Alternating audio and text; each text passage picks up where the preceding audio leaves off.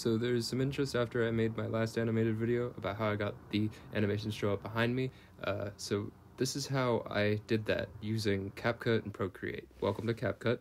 This is the video editing software I use, and essentially for this trick, all you need to do is duplicate the video that you want to remove the background from and overlay that video on top of itself. So now you have two of the same video lined up right on top uh, as like a perfect match essentially. Now what you're gonna do is go into remove background and you have three options here. You got auto removal, you have custom removal, and chroma key.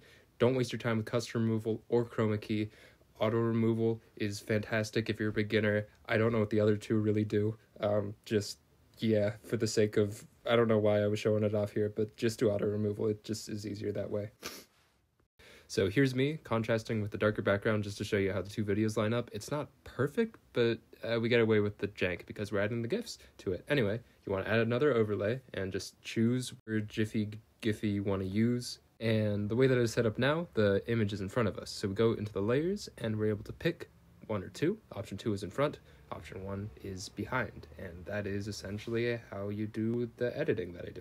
So now we are in Procreate. Welcome to Procreate. It is fantastic to have you here with us.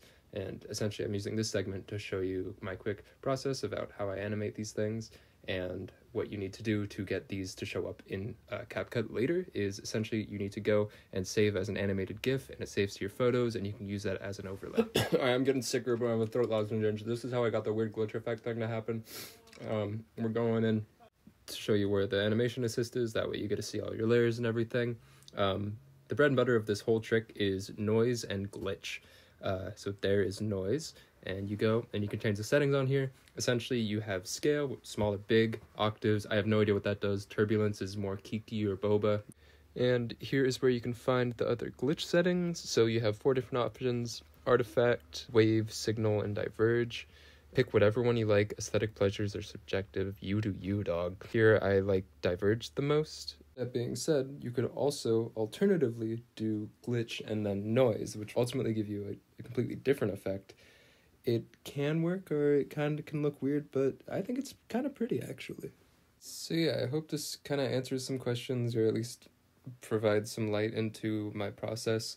I kind of am doing this a lot as I go, so I really appreciate your guys' comments and your feedbacks and your encouragement to continue to make these videos. Um, they've been a lot of fun to make, and the support has been fantastic. So I'll keep doing them as long as you enjoy them. Uh, I'm gonna go take a nap and fall asleep for two years, and I will be back. Good night.